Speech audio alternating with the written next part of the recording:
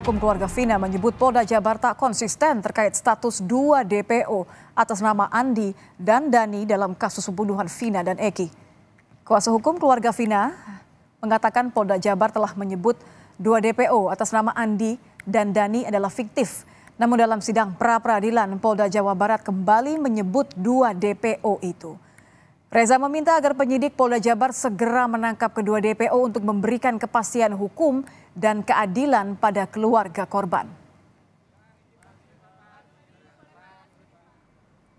Karena dari tiga terduga DPO itu sudah jelas perannya masing-masing ini gimana, yang lain seperti apa. Karena kalau misalkan eh, tiba-tiba dianggap fiktif, berarti kan semua amat putusan, semua putusan-putusan dari pengadilan dari pihak polisian sendiri pun kan semua berarti kan harus berubah harus dicari yang dua terduga DPO ini gitu kan hmm. karena dari pihak uh, Polda Jabar sendiri kuasa hukumnya itu kan menyebutkan lagi gitu hmm. kan jadi Artinya... sebetulnya ya mana yang benar gitu hmm. jadi itu yang yang memang sampai sekarang itu kita pertanyakan ke mana yang dua terduga DPO yang dianggap fiktif Saudara sebelumnya nama dua DPO, Dani dan Andi yang sudah dihapuskan dan dinyatakan fiktif oleh penyidik di kasus pembunuhan Vina, ternyata masih disebutkan perannya oleh tim hukum Polda Jabar dalam jawaban atas gugatan pra-peradilan Pegi Setiawan. Bahkan dalam jawaban gugatan, tim hukum menjabarkan peran Dani dan Andi.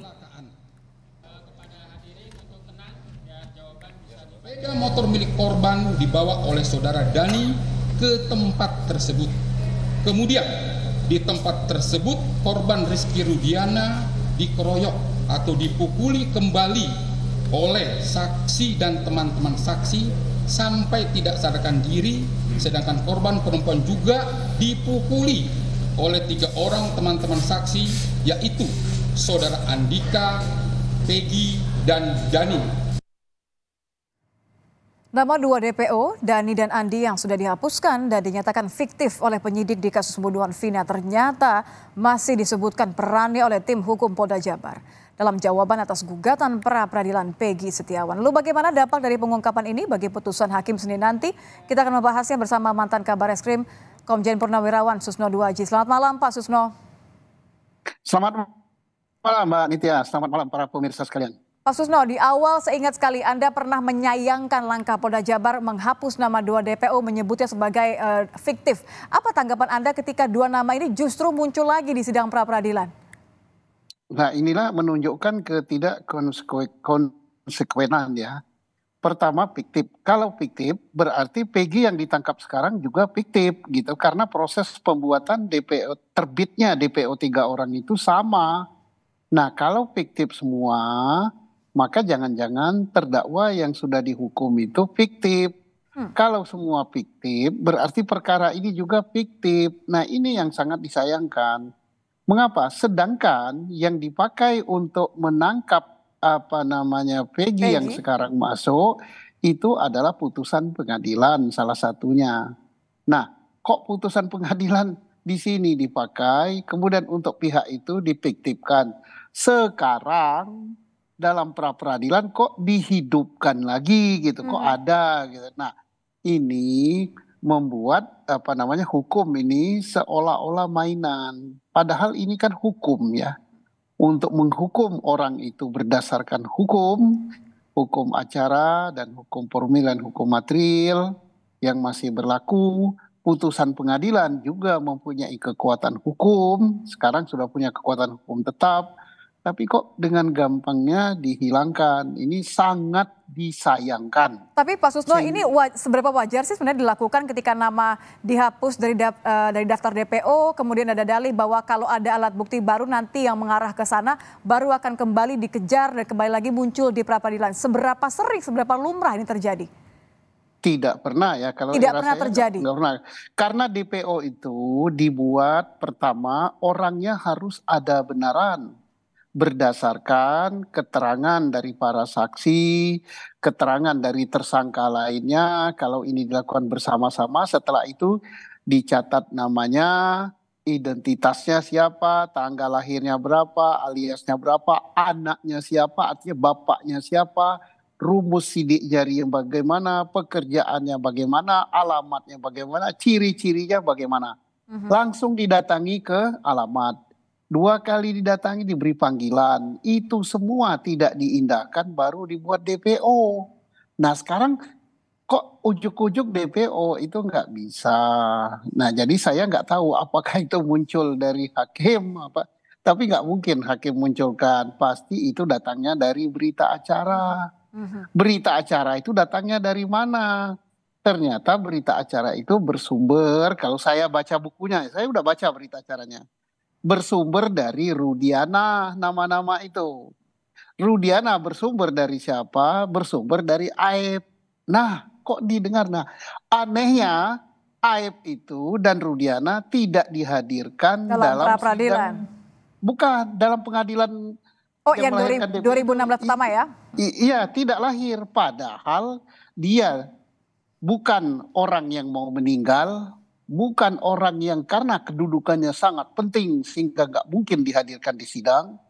Maka itu aneh ya, hakim bisa menerima berita acara saksi saksi itu di bawah sumpah agak aneh. Mestinya nggak boleh. Baca dulu uhap itu. Yang boleh tidak hadir di sidang itu siapa saja.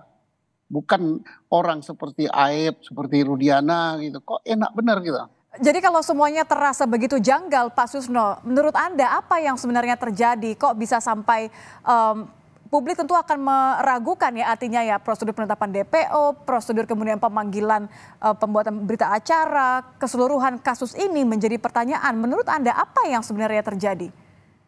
Iya, semua alat bukti juga ya dalam peradilan tidak didukung bukti saintifik. Yang ngomong bukan saya ya. Saya kalau saya fakta ya sebagai kabar mantan kabaris-krim, mantan penyidik 36 tahun ya memang nggak ada yang namanya kajian saintifik itu nol, gak ada. Tapi Kapolri ngomong kan dalam pidato Dias Natalis PTK yang dibacakan oleh Wakapolri baru saja berapa minggu yang lalu. Dia katakan Cirebon, kasus Cirebon ini, kasus Pina ini dan Iki ini tidak ada scientific uh, crime scientific investigation, bukti forensik gak ada. Anehnya oleh jaksa diterima dan super aneh lagi oleh hakim tingkat pengadilan negeri, tingkat pertama, tingkat banding, tingkat kasasi kok diterima. Padahal ancaman hukuman maksimalnya adalah hukuman mati. Oke. Okay. Dan nyatanya dia hukum seumur hidup, tapi bukti saintifik nggak ada. Ini jadi apakah ini peradilan sesat atau tidak? Saya tidak menuduh ya. Silakan publik menilai. Tapi tentu ini menjadi pertanyaan, uh, kalau kita mencoba untuk melihat lima hari ke belakang, Anda memantau secara penuh, uh, seberapa jauh ini akan berdampak kepada penetapan tersangka Peggy dan tidak hanya itu, karena kan di sisi lain masih ada satu hal yang berjalan ya, uh, Pak Susno ya, masih ada ya. pengembalian berkas. Kalau memang hakim menetapkan Peggy uh, betul uh, sah dinyatakan sebagai tersangka, artinya kan bisa berlanjut saja begitu. Tapi kalau tidak, bagaimana ini? Uh, polisi harus seperti apa? Harus rela berarti bahwa mereka uh, melakukan salah tangkap? Ya, ya saya katakan ya kalau ini misalnya pra peradilan dikabulkan, ya siapa pun harus berbesar hati ya, justru harus senang berterima kasih misalnya penyidik instansi saya itu ya, Polri itu saya Kenapa berterima kasih? Alhamdulillah pekerjaan saya dikoreksi, ternyata ada kekurangan sehingga kami tidak terjerumus kepada hal-hal yang kami anggap benar ternyata salah. Jadi bersyukur. Walaupun fatal yang, ya Pak Susno ya. Iya, iya, lebih fatal lagi kalau orang tidak bersalah dihukum. Itu lebih fatal lagi. Kalau ini kan alhamdulillah saya tidak terjerumus ke jurang, ada koreksi. Penggugat pun seandainya gugatannya ditolak, alhamdulillah berarti apa yang saya pikirkan benar ternyata salah. Nah, tapi di balik itu jangan lupa ya hakimnya yang menilai itu masyarakat luas se-Indonesia. Walaupun tidak duduk di ruang sidang, semua pada tahu kok. Ya, apa yang diajukan oleh Polri. Nah, seperti di sidang kemarin, Polri kan hanya mengajukan apa itu eh, ahli ya, ahli, kemudian mengajukan juga beberapa uh, barang bukti ya, barang bukti hmm. berupa visum, berupa surat dan lain-lain. Sayang kita tidak mendengar kok kenapa Polri tidak menghasilkan menghadirkan saksi gitu, sehingga alat bukti saksi seperti nggak ada gitu. Jangan-jangan hmm. memang karena tidak pede, Pak Susno. Iya, karena saksi itu tidak boleh dibacakan ya. Saksi apalagi di dalam sidang pra peradilan ini kalau menghadirkan saksi, saksi harus hadir di ruang sidang, kemudian disumpah. Nah, ahli pun hadir dan disumpah. Nah, saya tidak melihat saksi yang hadir dari pihak penyidik, eh, kemudian langsung diminta keterangan di depan apa sidang, kemudian disumpah dan para uh, apa penggugat dan tergugat bisa bertanya. Kalau Anda nah, melihat, maaf saya potong Pak Susno, kalau Anda ya. melihat artinya sejauh ini, ini ini berdasarkan fakta saja ya, uh, sepertinya akan memenangkan gugatan Pegi dari pihak Pegi kah atau justru malah masih ada uh, peluang bagi Polda untuk membuktikan bahwa penetapan tersangka Pegi memang sesuai dengan prosedur hukum? Saya sangat berharap ya Polda kuat ya, kuat berharap. Tapi saya agak kecewa kok nggak menghadirkan saksi ya saksi berarti alat bukti saksi begini gitu. Jadi nggak ada gitu. Yang ada alat alat bukti ahli ya. Mm-hmm. Alat bukti ahli, alat bukti berupa visum dan lain-lain ya. Kalau Sehingga kalau dilihat dari fakta yang ada sekarang, Anda cenderung untuk melihat ya, bahwa ya publik sudah bisa menilai gitu. Enggak, saya nggak bisa dulu hakim ya. Semua saya kira sudah sama pendapatnya ya, bahwa kira-kira gugatan ini akan diapakan gitu. Apa apalagi eh, hakim ya hakim Pak Eman ya sudah mengatakan saya akan berikan keputusan yang terbaik. Saya tidak memihak ke siapa pun juga. Berarti dia mihak kepada kebenaran. Ya. Nah mari kita lihat dia mihak kebenaran. Siapa kebenaran kan sudah publik udah tahu bahwa hmm. yang benar itu adalah ini kok. Hanya nggak mau nyebut aja. Saya kalau nyebut mendahului putusan hakim gitu. baik baik Pak. Tapi juga tadi kembali kepada kekhawatiran Anda di awal bahwa terlepas dari penetapan tersangka Peggy sesuai dengan prosedur atau tidak, tentu yang tidak boleh dilupakan adalah pengungkapan kasus Vina hingga tuntas. Apa yang harus dilakukan setelah pra peradilan putusannya keluar Senin nanti, Pak? Oke, kalau seandainya ya, makanya harus dilakukan tergantung putusan. Seandainya putusan daripada penggugat dikabulkan, maka kewajiban daripada penyidik mencari siapa pelakunya yang sebenarnya. Kita harus ungkap loh, jangan sebiarkan uh, kedua nyawa melayang itu putra terbaik bangsa ya. Nah, seandainya juga masih berlanjut ini akan berlanjut kepada PK. Kalau PK dikabulkan juga gugatannya, maka berarti tersangkanya belum ada satupun yang tertangkap gitu kan. Itu ya andai-andai pertama. Andai-andai kedua, kalau ternyata gugatan tidak dikabulkan, maka kewajiban Polri untuk menuntaskan penyidikan Peggy untuk memenuhi kekurangan apa yang diminta oleh penuntut umum terhadap berkas yang dikembalikan. Yang dikembalikan apa kekurangannya? Syarat formil dan syarat material tidak lengkap. Nah, ini berat loh. Itu ngomongnya syarat formil, syarat material. Artinya isi dari berkas itu belum nyambung.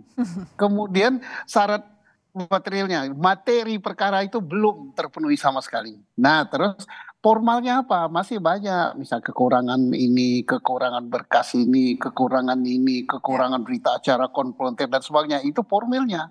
Hmm. Tapi gawatnya ini kan formil dan material belum memenuhi syarat. Jadi, Jadi apa pun nanti ujungan, apakah Polri tetap harus legowo dan tanggung jawab ya, karena kasus pembunuhan Vina ini masih akan dinanti. Terima kasih Pak Susno sudah gabung bersama kami di Kompas Malam. Selamat malam Pak. Terima kasih. Selamat malam Pak Susno. Mantan kabar eskrim Komjen Purnawirawan Susno Duaji.